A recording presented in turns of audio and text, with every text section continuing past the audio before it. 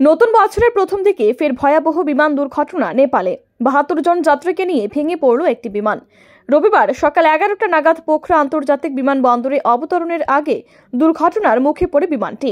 ভেঙে পড়ার সঙ্গে সঙ্গে যাত্রীবাহী বিমানটিতে আগুন ধরে যায়। বিমানবন্দর বন্ধ রেখে যুদ্ধকালীন তৎপরতায় শুরু হয় উদ্ধার কাজ। ইতিমধ্যেই ষোলো জনের দেহ উদ্ধার হয়েছে খবর। বিমানের কর্মী সহ বাকি যাত্রীদের জীবিত থাকার সম্ভাবনাও অত্যন্ত ক্ষীণ বলে মনে করা হচ্ছে। জানা গেছে, রবিবার সকালে কাঠমান্ডু থেকে পোখরা যাচ্ছিল ইয়েতি এয়ারলাইন্সের বিমানটি। সূত্রের খবর, পোখরা পুরনো বিমানবন্দরের মাঝে পাহাড়ি এলাকায় ভেঙে পড়ে বিমানটি। বিমানে পাইলট সহ মোট চারজন কর্মী ছিলেন। যাত্রী ছিলেন আটষট্টি জন। বিমানে আগুন ধরে যাওয়ায় তাদের বেঁচে থাকা নিয়ে আশঙ্কা তৈরি হয়েছে। ঘটনাস্থলে পৌঁছে গিয়েছে দমকল ও সেনাকর্মী উদ্ধার কাজে হাত লাগিয়েছেন স্থানীয় বাসিন্দারাও। যুদ্ধকালীন তৎপরতায় বিমানের ভেতর থেকে যাত্রীদের বের করে আনার চেষ্টা চলছে। আপাতত পোখরা বিমানবন্দরে বিমান ওঠানামা বন্ধ রাখা হয়েছে। ব্যুরো রিপোর্ট, আর ই নিউজ।